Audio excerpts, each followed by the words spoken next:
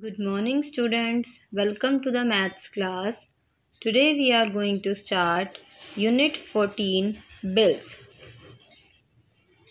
which is at page number 168 of our book.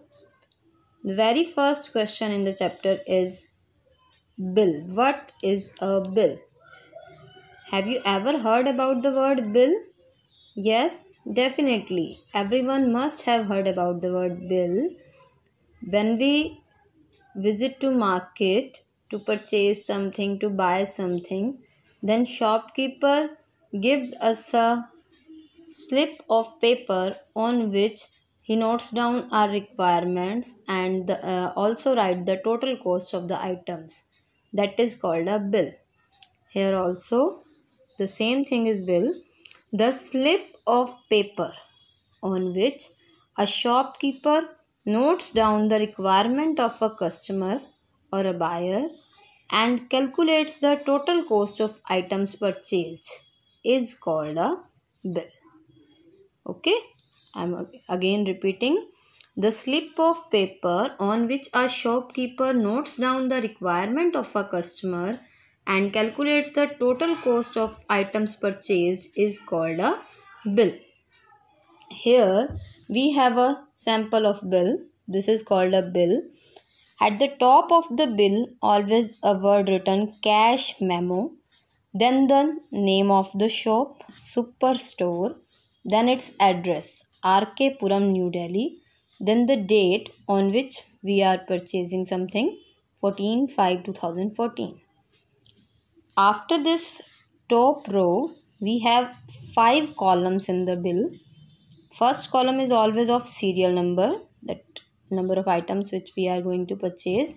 Then the name of the item. Then quantity. Then rate. Rate means the cost of one unit. The one shampoo cost rupees this. Then amount means the cost for one thing is this cost for one egg is this but amount means six eggs cost 6 multiply 4.50 this is 27.50 27.00 okay these two columns are different. Rate is that thing that cost which a shopkeeper tells that 5 rupees per packet. But if we are purchasing 10 packets then amount is the cost which we have to give him means 5 tens are 50 okay this is amount serial number, items, quantity, rate and amount. As in this bill, we have shampoo quantity 1, rate is 72.50, amount is always calculated by rate multiply quantity. Ones are then same it is.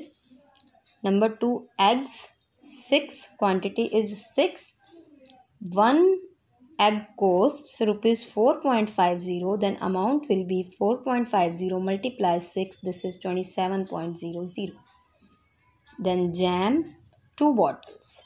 Rate is rupees 95 means the cost of one bottle is 95 and two bottle will cost 95 multiplied 2 rupees 190 maggi 3 packs at rupees 12 means 12 is the rate of 1 pack 12 3 is a 36 Sugar 2 kilogram. At rupees 45 means 45 is the rate of 1 kilogram of sugar.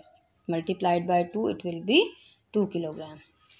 Then the total amount which is to be paid by the customer this is 415.50 and in the left corner there is the signature of the shopkeeper.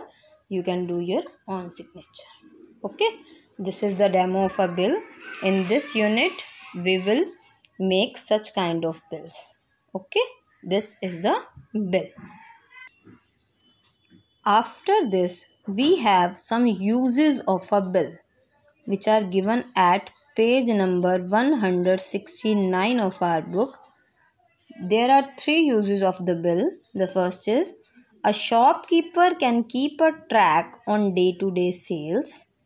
Second the customer can cross check the prices of items purchased and their total cost.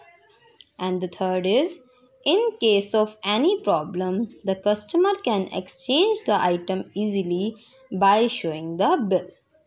Okay, these are three uses of a bill which are at page number 169 of our book.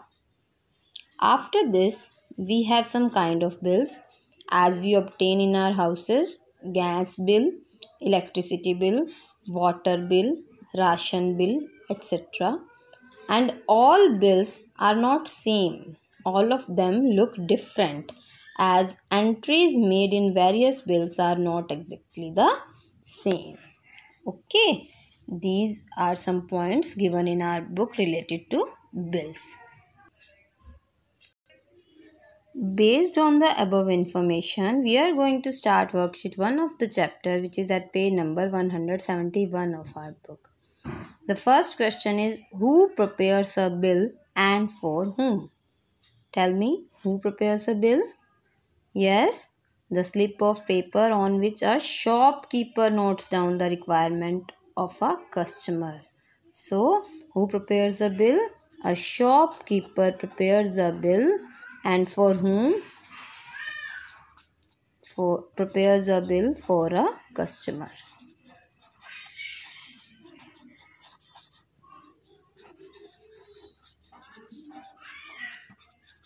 okay next name any three bills you receive at home do all of them look alike if not why name any three bills you receive at home. Do all of them look alike? If not why? We have studied at page number 169 the different kind of bills gas bill electricity bill ration bill. So you can mention any three kind of bills and those all bills are not same or th- those do not look alike as the entries made in different bills are not same okay the answer to this question you will write on your own come to question number 3 write three uses of a bill we have just discussed the three uses of bill that a shopkeeper can keep a track on day-to-day sales. The customer can cross-check the prices of items purchased and their total cost. In case of any problem, the customer can exchange the items easily by showing the bill. Okay, these three uses we have studied at page number 169 of our book. Okay, you have to do this question from page number 169 and also learn the three uses different kind of bills and who prepares a bill for whom. The remaining questions of worksheet 1 we will discuss in next e-lecture. Your homework is revise introduction and do question number 1 2 3 of worksheet 1 of unit 14 thank you